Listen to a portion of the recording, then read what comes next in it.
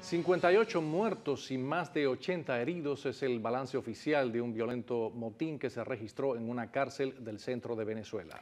Ricardo Quintana está aquí en nuestros estudios con todos los detalles. Adelante, Ricardo, cuéntanos. Te cuento, Vanessa, que esto ocurrió en la penitenciaría de Uribana, en Barquisimetro, cuando un grupo de presos, algunos de ellos armados, se enfrentó a la Guardia Nacional.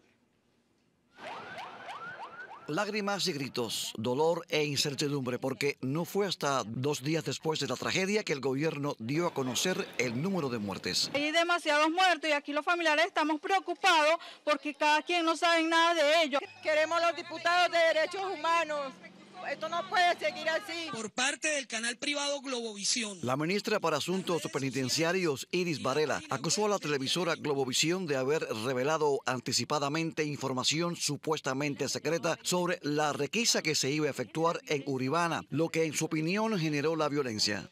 Fuimos sorprendidos por el anuncio de dicha requisa por parte del canal privado Globovisión.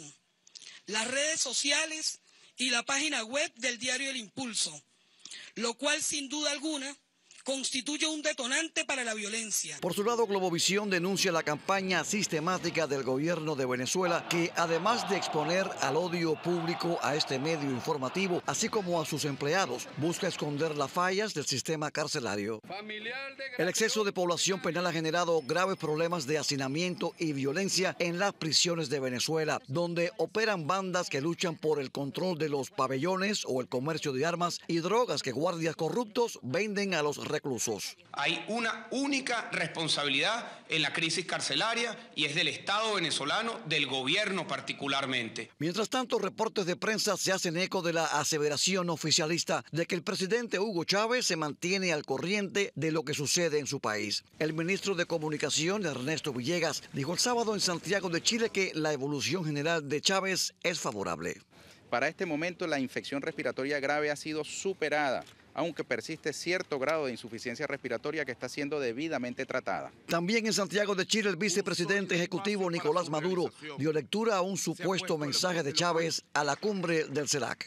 Reciban un fervoroso saludo bolivariano junto al vivo testimonio de la hermandad hacia cada uno de los pueblos de la patria grande.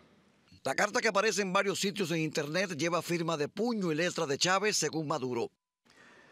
El Instituto de Prensa y Sociedad de Venezuela dijo en un comunicado que la información que ha dado Caracas sobre Hugo Chávez no ha sido suficientemente transparente y además se ha evidenciado un discurso agresivo contra la prensa nacional y extranjera. El presidente de la Asamblea Nacional, Diosdado Cabello, anunció que espera volver a La Habana esta semana para ver al convaleciente mandatario.